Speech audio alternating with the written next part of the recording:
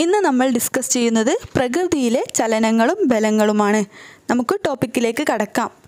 ചലനത്തെക്കുറിച്ചുള്ള പഠനം ഡയനാമിക്സ് ചലനത്തെക്കുറിച്ചുള്ള പഠനം ഡയനാമിക്സ് എന്നാൽ നിശ്ചലാവസ്ഥയിലുള്ള വസ്തുക്കളെക്കുറിച്ചുള്ള പഠനം സ്റ്റാറ്റിക്സ് നിശ്ചലാവസ്ഥയിലുള്ള വസ്തുക്കളെക്കുറിച്ചുള്ള പഠനം സ്റ്റാറ്റിക്സ് ബലം പ്രയോഗിക്കുന്ന ദിശയിലായിരിക്കും ചലനം സംഭവിക്കുക. ബലം പ്രയോഗിക്കുന്ന ദിശയിലായിരിക്കും ചലനം സംഭവിക്കുക. നേർരേഖയിലൂടെയുള്ള വസ്തുക്കളുടെ ചലനം നേർരേഖാ ചലനം. നേർരേഖയിലൂടെയുള്ള വസ്തുക്കളുടെ ചലനം നേർരേഖാ ചലനം. നേർരേഖാ ചലനത്തിന് ഉദാഹരണമാണ് ഞെട്ടറ്റ് വീഴുന്ന മാമ്പഴം. നേർരേഖാ ചലനത്തിന് ഉദാഹരണമാണ് ഞെട്ടറ്റ് വീഴുന്ന മാമ്പഴം. വക്രരേഖയിലൂടെയുള്ള വസ്തുക്കളുടെ ചലനമാണ് വക്രരേഖാ ചലനം. വക്രരേഖയിലൂടെയുള്ള വസ്തുക്കളുടെ ചലനമാണ് വക്രരേഖാ ചലനം. ദൂരേക്കെറിയുന്ന കല്ലാണ് വക്രരേഖാ ചലനത്തിന് ഉദാഹരണം. ഒരു നിശ്ചിത സമയത്തിൽ ആവർത്തിച്ചു വരുന്ന ചലനമാണ് ക്രമാവർത്തന ചലനം. ഒരു നിശ്ചിത സമയത്തിൽ ആവർത്തിച്ചു വരുന്ന ചലനമാണ് ക്രമാവർത്തന ചലനം.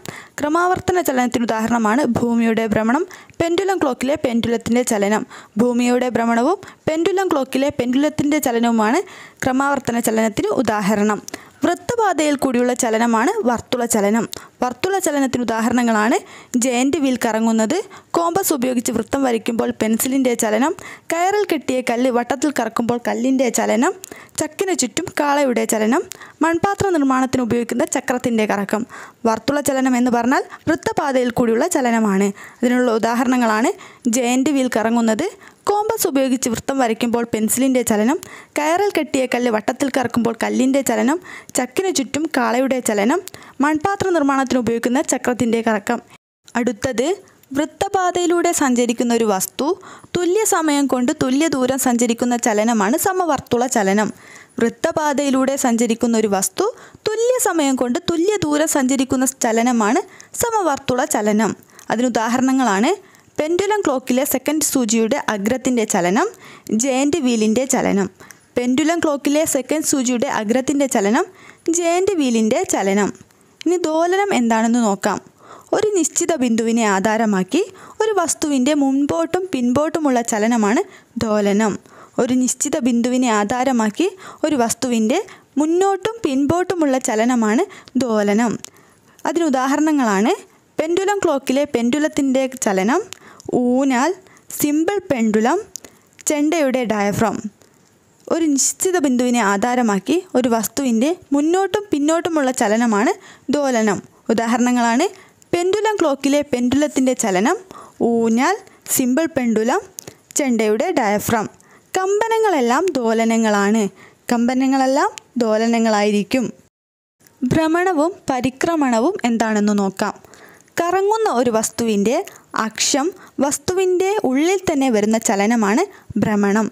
കറങ്ങുന്ന വസ്തുവിന്റെ അക്ഷം വസ്തുവിനുള്ളിൽ തന്നെ വരുന്ന ചലനമാണ് ഭ്രമണം. അതിനുദാഹരണമാണ് സ്വന്തം അച്ചുതണ്ടിൽ ഭൂമി കറങ്ങുന്നത്. സ്വന്തം അച്ചുതണ്ടിൽ ഭൂമി കറങ്ങുന്നതാണ് ഭ്രമണത്തിന് ഉദാഹരണം. എന്നാൽ പരിക്രമണം എന്ന് പറഞ്ഞാൽ കറങ്ങുന്ന വസ്തുവിന്റെ അക്ഷം വസ്തുവിന് പുറത്തു വരുന്ന ചലനമാണ് പരിക്രമണം. കറങ്ങുന്ന വസ്തുവിന്റെ അക്ഷം വസ്തുവിന് പുറത്തു വരുന്ന ചലനമാണ് പരിക്രമണം. കറങ്ങിക്കൊണ്ടിരിക്കുന്ന ഒരു ഫാനിന്റെ ദളങ്ങളുടെ ചലനമാണ് പരിക്രമണ ചലനം. കറങ്ങിക്കൊണ്ടിരിക്കുന്ന ഒരു ഫാനിന്റെ ദളങ്ങളുടെ ചലനം പരിക്രമണ ചലനത്തിന് ഉദാഹരണമാണ്. സൂര്യനെ പ്രദക്ഷിണം ചെയ്തുകൊണ്ടുള്ള ഭൂമിയുടെ വാർഷിക ചലനവും പരിക്രമണ ചലനമാണ്. സൂര്യനെ പ്രദക്ഷിണം ചെയ്തുകൊണ്ടുള്ള ഭൂമിയുടെ വാർഷിക ചലനവും പരിക്രമണ ചലനമാണ്. ന്യൂക്ലിയസിനെ പ്രദക്ഷിണം ചെയ്തുകൊണ്ടിരിക്കുന്ന ഒരു ഇലക്ട്രോണിന്റെ ചലനം പരിക്രമണ ചലനവും ഭ്രമണ ചലനവുമായിരിക്കും. ന്യൂക്ലിയസിനെ പ്രദക്ഷിണം ചെയ്തുകൊണ്ടിരിക്കുന്ന ഒരു ഇലക്ട്രോണിന്റെ ചലനം ഭ്രമണ ചലനവും പരിക്രമണ ചലനവുമായിരിക്കും. ഇനി കുറച്ച് ചലിക്കുന്ന വസ്തു പറയാം. അതിന്റെ ചലന രീതി നിങ്ങൾ കമന്റായി രേഖപ്പെടുത്തുക. നമ്പർ ക്രമത്തിൽ തന്നെ രേഖപ്പെടുത്താൻ ശ്രമിക്കുക. ആദ്യത്തേത് ലിഫ്റ്റ് ഒന്നാമത്തേത് ലിഫ്റ്റ്. രണ്ടാമത്തേത് ഊഞ്ഞാൽ. രണ്ട് ഊഞ്ഞാൽ. മൂന്ന് വീണയിലെ കമ്പി. നാല് ഒരു കല്ല് ചരടിൽ കെട്ടി കറക്കുമ്പോൾ കല്ലിന്റെ ചലനം.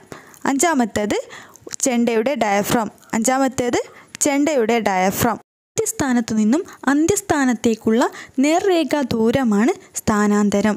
ആദ്യസ്ഥാനത്തു നിന്നും അന്ത്യസ്ഥാനത്തേക്കുള്ള നേർരേഖാ ദൂരമാണ് സ്ഥാനാന്തരം. സ്ഥാനാന്തരത്തിന്റെ യൂണിറ്റാണ് മീറ്റർ. സ്ഥാനാന്തരത്തിന്റെ യൂണിറ്റ് മീറ്ററാണ്.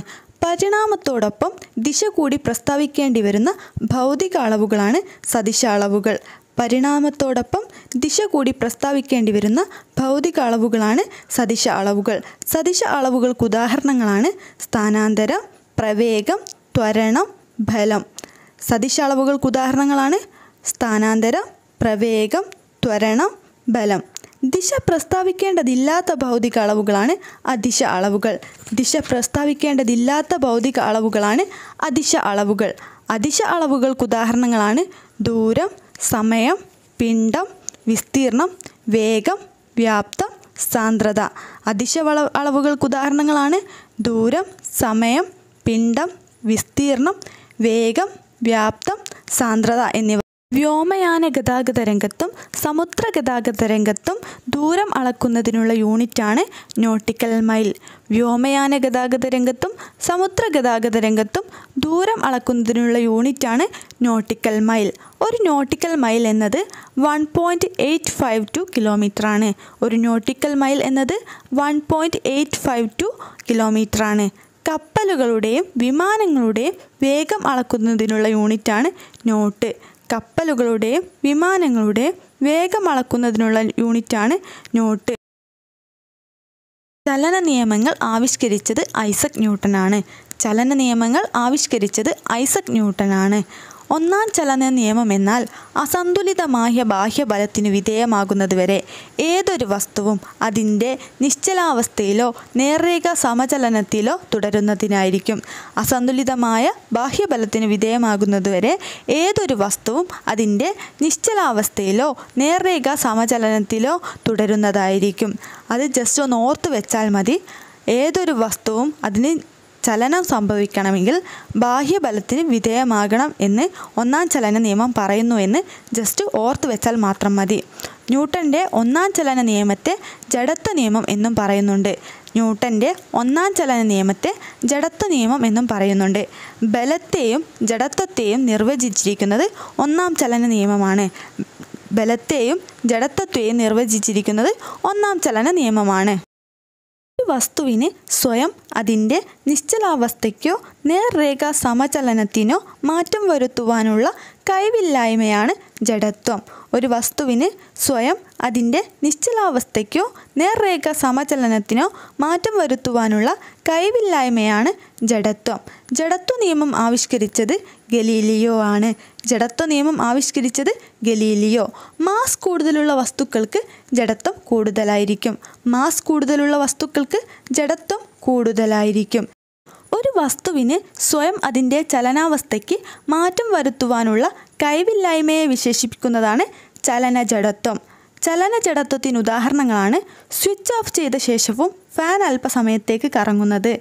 ലോങ് ജമ്പ് ചാടുന്ന കായിക താരങ്ങൾ ചാടുന്നതിനു മുമ്പ് അല്പദൂരം ഓടുന്നത്. ഓടി വരുന്ന അത്ലറ്റിന് ഫിനിഷിംഗ് ലൈനിൽ എത്തിയാലുടൻ ഓട്ടം അവസാനിപ്പിക്കാൻ കഴിയാത്തത്. വേഗത്തിൽ ഓടിക്കൊണ്ടിരിക്കുന്ന ഒരു ബസ് പെട്ടെന്ന് നിർത്തുമ്പോൾ നിൽക്കുന്ന യാത്രക്കാർ മുന്നോട്ട് വീയാൻ പോകുന്നത്. ചലനജഡത്വത്തിന് ഉദാഹരണങ്ങളാണ് സ്വിച്ച് ഓഫ് ചെയ്ത ശേഷവും ഫാൻ അല്പസമയത്തേക്ക് കറങ്ങുന്നത് ലോങ് ജംപ് ചാടുന്ന കായിക താരങ്ങൾ ചാടുന്നതിന് മുമ്പ് അല്പദൂരം ഓടുന്നത് ഓടി വരുന്ന അത്ലറ്റിന് ഫിനിഷിംഗ് ലൈനിൽ എത്തിയാലുടൻ ഓട്ടം അവസാനിപ്പിക്കാൻ കഴിയാത്തത് ഓടി വരുന്ന ഒരു ബസ് പെട്ടെന്ന് നിർത്തുമ്പോൾ നിൽക്കുന്നയാൾ മുന്നോട്ട് വീയാൻ പോകുന്നത്. ഇവയെല്ലാം ചലന ജഡത്വത്തിന് ഉദാഹരണങ്ങളാണ്. അതായത് ഒരു വസ്തുവിന് അതിന്റെ ചലനാവസ്ഥയ്ക്ക് സ്വയം മാറ്റം വരുത്തുവാനുള്ള കഴിവില്ലായ്മയെ വിശേഷിപ്പിക്കുന്നതാണ് ചലന ജഡത്വം ഇനി നിശ്ചല ജഡത്വം എന്നാൽ എന്താണെന്ന് നോക്കാം. ഒരു വസ്തുവിന് സ്വയം അതിന്റെ നിശ്ചലാവസ്ഥയ്ക്ക് നിശ്ചലാവസ്ഥയ്ക്ക് മാറ്റം വരുത്തുവാനുള്ള കഴിവില്ലായ്മയാണ് നിശ്ചല ജഡത്വം ഒരു വസ്തുവിന് സ്വയം അതിന്റെ നിശ്ചലാവസ്ഥയ്ക്ക് മാറ്റം വരുത്തുവാനുള്ള കഴിവില്ലായ്മയാണ് നിശ്ചല ജഡത്വം നിശ്ചല ജഡത്വത്തിന് ഉദാഹരണങ്ങളാണ്. അട്ടിയായി അടുക്കിയ ക്യാരംസ് കോയിനുകളുടെ അടി തെറ്റിക്കാതെ അടിയിലത്തെ കോയിൻ തെറിപ്പിക്കാൻ കഴിയുന്നത്. അട്ടിയായി അടുക്കിയ ക്യാരംസ് കോയിനുകളുടെ അടി തെറ്റിക്കാതെ അടിയിലത്തെ കോയിൻ തെറിപ്പിക്കാൻ കഴിയുന്നത്. മാവിൻ കൊമ്പ് പെട്ടെന്ന് കുലുങ്ങുമ്പോൾ മാങ്ങ ഞെട്ടറ്റു വീഴുന്നത്. മാവിൻ കൊമ്പ് പെട്ടെന്ന് കുലുങ്ങുമ്പോൾ മാങ്ങ ഞെട്ടറ്റു വീഴുന്നത്. നിർത്തിയിട്ടിരിക്കുന്ന ഒരു ബസ് പെട്ടെന്ന് മുന്നോട്ടെടുക്കുമ്പോൾ ബസ്സിലെ യാത്രക്കാർ പുറകോട്ട് ചായുന്നു. നിർത്തിയിട്ടിരിക്കുന്ന ഒരു ബസ് പെട്ടെന്ന് മുന്നോട്ടെടുക്കുമ്പോൾ ബസ്സിലെ യാത്രക്കാർ പുറകോട്ട് ചായുന്നു. ന്യൂട്ടന്റെ രണ്ടാം ചലന നിയമമാണ് ഒരു വസ്തുവിനുണ്ടാക്കുന്ന ആക്ക വ്യത്യാസത്തിന്റെ നിരക്ക്. ആ വസ്തുവിൽ പ്രയോഗിക്കുന്ന അസന്തുലിത ബാഹ്യബലത്തിന് നേർ അനുപാതത്തിലും ആക്ക വ്യത്യാസം അസന്തുലിത ബാഹ്യബലത്തിന്റെ ദിശയിലും ആയിരിക്കും. ഒരു വസ്തുവിനുണ്ടാകുന്ന ആക്ക വ്യത്യാസത്തിന്റെ നിരക്ക് ആ വസ്തുവിൽ പ്രയോഗിക്കുന്ന അസന്തുലിത ബാഹ്യബലത്തിന് നേർ അനുപാതത്തിലും ആക്ക വ്യത്യാസം അസന്തുലിത ബാഹ്യബലത്തിന്റെ ദിശയിലുമായിരിക്കും ബലത്തെ എങ്ങനെ അളക്കാമെന്ന് പ്രസ്താവിക്കുന്ന ചലന നിയമമാണ്. രണ്ടാം ചലന നിയമം. ബലത്തെ എങ്ങനെ അളക്കാമെന്ന് പ്രസ്താവിക്കുന്ന ചലന നിയമമാണ് രണ്ടാം ചലന നിയമം. F is equal to M A എന്ന നിർവചനം ലഭിക്കുന്ന ചലന നിയമമാണ് രണ്ടാം ചലന നിയമം. F is equal to M A എന്ന നിർവചനം ലഭിക്കുന്ന ചലന നിയമമാണ് രണ്ടാം ചലന നിയമം. എഫ് എന്ന ബലം force F is equal to force M is equal to mass M എന്നാൽ പിണ്ഡം mass A is equal to acceleration A equal to acceleration അഥവാ ത്വരണം. ഇനി മൂന്നാം ചലന നിയമം എന്താണെന്ന് നോക്കാം. ഏതൊരു പ്രവർത്തനത്തിനും തുല്യവും വിപരീതവുമായ ഒരു പ്രതിപ്രവർത്തനം ഉണ്ടായിരിക്കും. മൂന്നാം ചലന നിയമം പറയുന്നത് ഏതൊരു പ്രവർത്തനത്തിനും തുല്യവും വിപരീതവുമായ ഒരു പ്രതിപ്രവർത്തനം ഉണ്ടായിരിക്കും എന്നതാണ്.